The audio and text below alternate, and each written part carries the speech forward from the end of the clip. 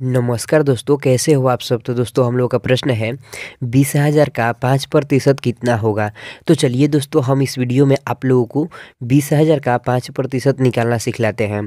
तो ध्यान दीजिएगा दोस्तों, हम यहाँ पर लिखेंगे, बीस हज़ार का, ध्यान दीजिएगा दोस्तों, बीस हज़ार का, बीस हज़ार का पाँच प्रतिशत। अब दोस्तों, अगले स्टेप में ध्यान दीजिएगा।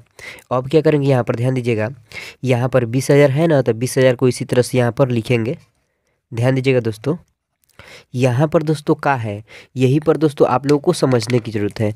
दोस्तों, जो हम इधर साइड में दोस्तों आप लोगों को बतला रहे हैं ना, इस पर थोड़ा सा आप लोग ध्यान दीजिएगा दोस्तों, यहाँ पर। ध्यान दीजिएगा दोस्तों, इधर। देखिए दोस्तों, जो आप लोग यहाँ पर का देख रहे होंगे ना, दोस्तों, इस का का अर्थ होता है, यहाँ पर ध्यान दीजिएगा, देखिए, जो इस तरह से का लिखा हुआ है ना दोस्तों, ध्यान दीजिएगा, इस का का अर्थ होता है गुणा। इसलिए दोस्तों, क्या करेंगे, इस का के लिए यहाँ पर गुणा का चिन्ह दे देंगे। यहाँ पर दोस्तों है पाँच प्रतिशत। तो दोस्तों, आप लोग ध्यान दीजिएगा क्या करेंगे? यह पाँच है ना तो इस पाँच को इसी तरह से यहाँ पर लिखेंगे।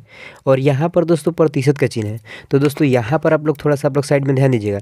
दोस्तों जो आप लोग इस तरह से प्रतिशत का चिन्ह देख रहे होंगे ना दोस्तों, इस प्रतिशत का अर्थ होता है एक बटे में सौ होता है, कुछ इस प्रकार से। इसलिए दोस्तों हम क्या करेंगे? इस प्रतिशत के लिए इस पाँच के गुणे में एक बटे में सौ लिख देंगे, कुछ इस प्रकार से। अब यदि दोस्तों आप लोग यहाँ पर ध्यान देते होंगे तो जो इतना पार्ट यह बन गया ना, यह बाटा वाला गुणा बन गया। तो इसको दोस्तों आप लोग चाहें तो आप लोग किसी भी तरह से इसको कटा सकते हैं। तो हम दोस्तों क्या करेंगे आसानी के लिए, इस दो ज़ीरो से इस दो ज़ीरो को कटा देंगे।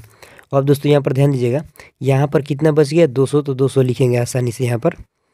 और यहाँ पर गुणा का चिन्ह है तो गुणा का चिन्ह देंगे। यहाँ पर है पाँच गुणे एक तो कितना होगा? पाँच ही ना होगा तो पाँच लिखेंगे। अब दोस्तों यहाँ पर क्या करेंगे? इस 200 में इस पाँच से गुणा कर देंगे। तो दोस्तों गुणा करने का सबसे आसान तरीका, सबसे पहले क्या करेंगे? इस पाँच से इस दो में पहले गुणा करेंगे। दोस्तों यहाँ पर ध्यान दीजिएगा। तो दोस्तों कितना होगा? पाँच दो ना दस होगा तो दस लिखेंगे यहाँ पर। दोस्तों ध्यान दीजिएगा। और यहाँ पर दो ज़ीरो है तो दो ज़ीरो आसानी से हम यहाँ पर बैठा देंगे।